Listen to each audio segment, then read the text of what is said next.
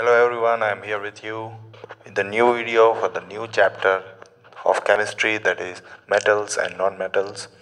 So as we have completed 8 chapter in the video section, you can visit my previous video in order to know each and every chapter in a detail and in a very simple manner.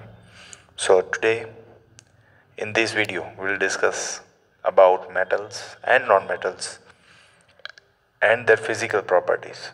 Physical properties का मतलब कि उसका physical appearance कैसा है दिखने में कैसा है शेप कैसा है। ठीक है स्टूडेंट्स तो ये सब चीज़ें हम डिस्कस करेंगे जो आपने प्रीवियस क्लास में थोड़ी बहुत पढ़ ली है। फ़िज़िकल प्रॉपर्टीज़ सेम प्रॉपर्टीज़ यहाँ पे भी रिपीट होने वाली है। So let's begin today's video so metals as you all know are generally hard so they are regarded as solids ये बहुत ही टफ होते हैं मेटल्स जो होते हैं वो। इसीलिए वो सॉलिड स्टेट में ही जनरली पाए जाते हैं। एक्सेप्शनल केस में आप सबको मालूम है मर्क्यूरी जिसका केमिकल फॉर्मूला है एच जी जो लिक्विड स्टेट में होता है और जनरली टेम्परेचर मेज़रमेंट के लिए थर्मोमीटर में यूज़ होता है। जनरली मेटल्स कैसे होते हैं? तो मैंने नीचे दिखाए हैं brass bronze steel copper iron aluminium ये सब जो मेटल्स है, वो प्रेशियस मेटल्स नहीं है। ये सब सबसे ज़्यादा हमारे अर्थ में एक्सट्रैक्ट किए जाते हैं। सबसे ज़्यादा प्रोपोर्शन में अवेलेबल है। ठीक है स्टूडेंट्स और उसके सामने अगर हम नॉन मेटल को कंपेयर करते हैं तो non metals are generally soft non metals generally soft होते हैं, या फिर वो फ्री स्टेट में भी पाए जाते हैं मतलब कि वो गैसियस स्टेट में भी हो सकते हैं। सॉफ्ट होते हैं, इसलिए वो आसानी से आप उसको ब्रेक कर सकते हो फोर्स लगा दे ही। ठीक है? कौन कौन से नॉन मेटल्स हैं कार्बन और सल्फ़र ठीक है स्टूडेंट्स आगे जाते हैं। Second property that is lustrous property of metal मतलब कि मेटल में शाइनी सरफेस होता है स्टूडेंट्स वो शाइन करता है उसका सरफेस ऐसा होता है कि अगर आप लाइट इंसिडेंट करवाते हो तो वो भी रिफ्लेक्ट होके वापस आएगी। ठीक है so metals surfaces are generally more lustrous ठीक है and non metals are non lustrous you can see uh, various tools are given in the picture which are shining as the light is incident on it while sulfur and red phosphorus mentioned in the picture are non-lustrous. So let's move further students malleable property. Malleability is the property of a metal by which you can convert mostly all metals into thin sheets. ठीक है आप metals को एक rectangular sheet में convert कर सकते हो, अगर उसको हैमरिंग करके फोर्स देते हो तो उसके मॉलिक्यूल्स स्प्रेड हो जाएँगे। ठीक है तो आप उसको शेप चेंज कर सकते हो। ठीक है आप उसको सर्कल में बना सकते हो, आप उसको शीट्स में कन्वर्ट कर सकते हो। जैसे मैंने दिखाया है which is the most malleable metal वो भी मैंने दिखा दिया है पिक्चर में। Gold is the most malleable metal but generally non metals है वो मेलिएबल नहीं होते हैं so non metals are non malleable आगे जाते हैं students most metals can be converted into thin wires so they are ductile.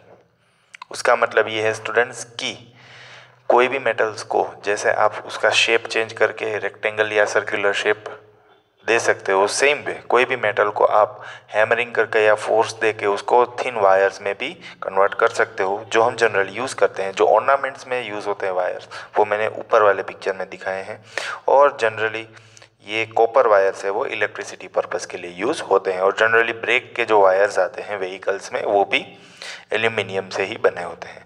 ठीक है स्टूडेंट्स सेम वे अगर आपको मेलिएबल प्रॉपर्टी के एग्जांपल चाहिए तो जो भी एल्यूमिनियम रैपिंग होती है ठीक है, जो फ़ूड पैकेट्स में यूज़ होता है फ़ूड प्रिजर्वेशन में यूज़ होता है, उसमें जनरली मेटल की शीट्स यूज़ होती है। और जनरली कोई भी मेटल्स है वो ट्रांसपोर्ट भी शीट के फॉर्म में ही होते हैं।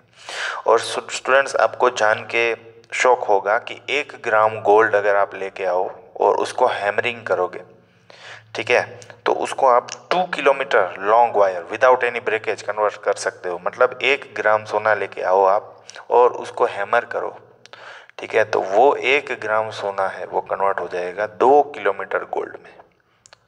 ठीक है तो इसीलिए बोलते हैं कि मेटल्स आर डक्टाइल और उसमें भी गोल्ड है वो मोस्ट डक्टाइल मेटल भी है। मेलिएबल भी सबसे ज़्यादा, और गोल्ड है वो डक्टाइल भी सबसे ज़्यादा है। ठीक है last second property that is metals are good conductors of heat students इसके लिए जो आपके टेक्स्ट बुक में एक्टिविटी है, वही मैंने यहाँ पे रखी है। आप देख सकते हो, एक स्टैंड है, एक क्लैंप और एक क्लैंप है। ये क्लैंप है, उसके बीच में एक मेटल का वायर लगाया हुआ है। ठीक है, और उसके एग्जैक्ट एंड में वैक्स लगाया हुआ है। क्या है, क्या लगाया हुआ है स्टूडेंट्स? वैक्स। ठीक है, और ये वैक्स के ऊपर छोटी छोटी पिंस ऐसे अटैच की हुई है। ठीक है, फिर क्या होता है स्टूडेंट्स? यहाँ से हीट एनर्जी सप्लाई होती है। यहाँ से हीट एनर्जी सप्लाई होती है।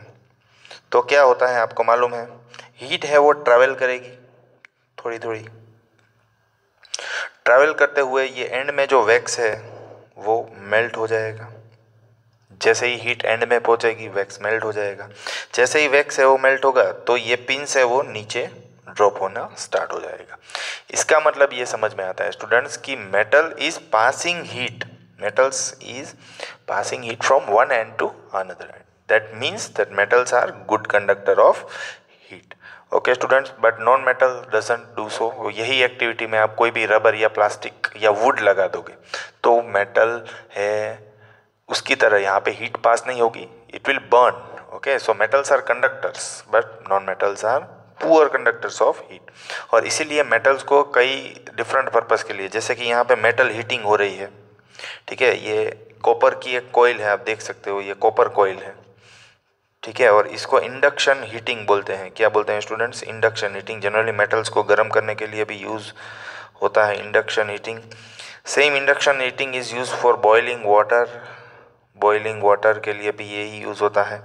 इसीलिए एल्यूमिनियम के ही कुकर्स बने होते हैं कुकिंग वेसल्स और या फिर कुकिंग यूटेंसिल्स भी मेटल्स के ही बने होते हैं। ठीक है स्टूडेंट्स तो यहाँ तक आप सबको समझ में आ गया होगा। So last property of metal that is metals are generally good conductor of electricity मतलब वो इलेक्ट्रॉन्स को इजीली पास करते हैं, क्योंकि मेटल्स के पास जनरली लेस देन फोर मतलब कम इलेक्ट्रॉन्स होते हैं उनके पास तो फ्री इलेक्ट्रॉन्स कम होते हैं, इसके कारण ये इलेक्ट्रिसिटी पास इजीली करते हैं। मेटल्स की valency generally less than four होती है, जो आपने प्रीवियस क्लास में अच्छे से स्टडी की हुई है। और नॉन मेटल्स है वो पुअर कंडक्टर ऑफ़ इलेक्ट्रिसिटी गिना जाता है, क्योंकि नॉन मेटल से उसको इलेक्ट्रॉन्स गेन करके ऑक्टेट बनना होता है और ज़्यादा इलेक्ट्रॉन्स फ्री नहीं होते हैं। ठीक है स्टूडेंट्स तो इसी कारण non metals are poor conductor of electric मतलब नॉन मेटल से वो इलेक्ट्रिसिटी पास नहीं करेंगे। I think you all are clear now we are moving to further exceptional cases मतलब कि कई सारे मेटल्स और नॉन मेटल्स ऐसे हैं स्टूडेंट्स जो आइडियल प्रॉपर्टी को नॉर्मल प्रॉपर्टीज़ को फॉलो नहीं करते हैं। जैसे कि सभी मेटल्स के मेल्टिंग पॉइंट बहुत ज़्यादा होते हैं मेल्टिंग और बॉइलिंग पॉइंट मतलब वो ज़्यादा टेम्परेचर देने के बाद ही सॉलिड से लिक्विड फॉर्म में कन्वर्ट होगा। उसको मेल्टिंग पॉइंट बोलते हैं। मेल्टिंग का मतलब क्या है? सॉलिड में से लिक्विड में कन्वर्ट होना। बॉइलिंग का मतलब क्या है स्टूडेंट्स लिक्विड में से गैसीय स्टेट में कन्वर्ट होना। तो ये जनरली सभी मेटल्स है वो हाई टेम्परेचर में ही कन्वर्ट होते हैं। पर गैलियम और सीजियम, ये दोनों ऐसे एक्सेप्शनल केस हैं और दोनों बहुत ही अलग मेटल हैं। ठीक है स्टूडेंट्स उनके मेल्टिंग पॉइंट बहुत ही कम है। कितने कम है कि आप गैलियम के साथ हाथ में खेल सकते हो, वो पूरा मेल्ट हो जाएगा आपके हाथ में। ठीक है at room temperature it melt same way you can see caesium in the picture it is stored in a glass flask and it can also roll from one end to another end second exceptional case is iodine students iodine is a non metal iodine एक non metal है, पर वो lustrous है। देख सकते हो iodine है, वो भी शाइन होता है। उसका सरफेस ऐसा है कि वो भी लाइट आते ही वो शाइनिंग करेगा।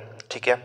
Third exceptional case that is carbon carbon है, वो नॉन मेटल है। आप सबको मालूम है स्टूडेंट्स बट कार्बन की अरेंजमेंट ऐसी है कि वो अलग अलग फॉर्म में भी एग्जिस्ट करते हैं नेचर में।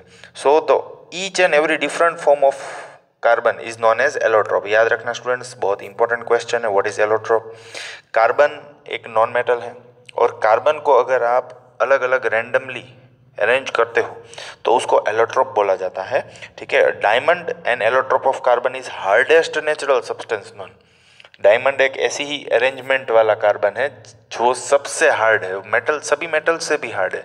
दो ये नॉन मेटल है। ठीक है diamond is a non metal because it is made from a non metal that is carbon but still it is very hard and it can cut the glass as you all know very well now diamond also have high melting and boiling point same as metal तो देखिए students ये तो non metal है, पर सभी properties metal की follow कर रहा है तो इसीलिए ये एक्सेप्शनल केस में आया है। Graphite another form of carbon is a conductor of electricity graphite है स्टूडेंट्स उसको जनरली पेंसिल में यूज़ किया जाता है। आप देख सकते हो डायमंड और ग्रेफाइट दोनों का पिक्चर मैंने दिखाया है। तो ग्रेफाइट है वो जनरली पेंसिल्स जो आप राइटिंग पर्पज़ के लिए यूज़ करते हो, वो भी गुड कंडक्टर ऑफ़ इलेक्ट्रिसिटी गिना जाता है। ठीक है स्टूडेंट्स आगे जाते हैं last point that is alkali metals मतलब कि जो बेसिक कैरेक्टरिस्टिक्स शो करते हैं, उसको अल्काली मेटल बोलते हैं। जैसे कि लिथियम सोडियम और potassium are so soft that they can be cut with a knife they have very low density and low melting point alkali metals हैं, वो बहुत ही सॉफ्ट होते हैं students though they are metals but still they are soft generally metals है, वो hard होते हैं, पर अल्काली मेटल्स है, वो सॉफ्ट है। उसको आप नाइफ से इजीली पीसीज में कन्वर्ट कर सकते हो। दूसरी स्टूडेंट्स इसमें मेल्टिंग पॉइंट भी बहुत कम है। जनरली मेटल्स की मेल्टिंग पॉइंट हाई होती है।